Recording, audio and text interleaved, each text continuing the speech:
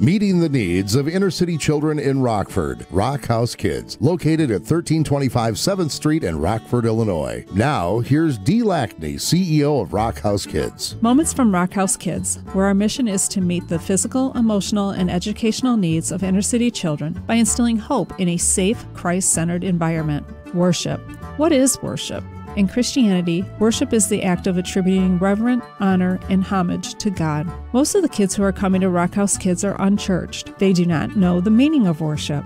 Each night at Rock House Kids, we have chapel time. During chapel time, the kids are taught what reverence means. The kids are to come into chapel respectfully. If they don't, they're sent back out into the hallway to try coming in the correct way. This normally only takes one time for them to get it. Next, we have them check who they're sitting around. They need to see if they can listen while in chapel, or are the people around them a distraction? If they are a distraction, they are to move themselves to another seat. During chapel, we go over the three R's of Rock House Kids. These are first, I respect myself and others. The second one is, I take responsibility for my actions. And the third one is, I will do what is right in all circumstances. The kids will repeat these and then they will have to explain what each one means and give scenarios of each one. This way, we know they understand, and if they choose not to abide by any of the three R's, we can remind them of the fact that they do know what they mean. When scripture is read, we have the kids stand to show respect for God's word. We sing songs and explain we are singing to God.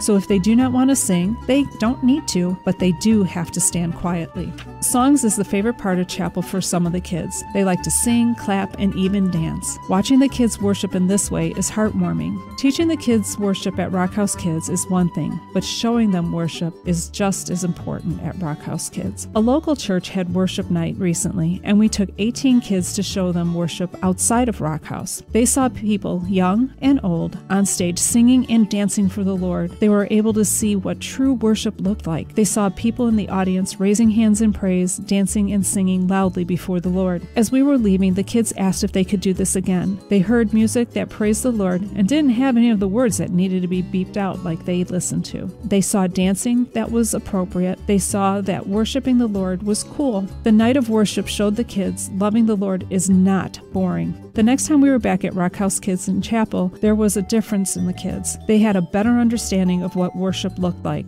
At Rock House Kids, we need a person who would be willing to come in and worship with the kids through song and dance. Right now, we are using YouTube videos for songs. This works, but having someone live would be much more impactful for the kids. How awesome would it be to have a Rock House Kids praise team? If you feel a nudge to come and help teach kids how to worship through song and or dance, please give me a call at 815-962 5067, extension 102, Monday through Friday between the hours of 9 and 3. We also have exciting news. Rockhouse Kids has been unable to have our Rockin' Bowl fundraiser for a couple years. Well, we are going to be able to have it again this year. It will be Saturday, April 30th. Check out our website, rockhousekids.org, Facebook, Instagram for more information about our Rockin' Bowl. Hope to see you there for a fun night. Rock House Kids, help for today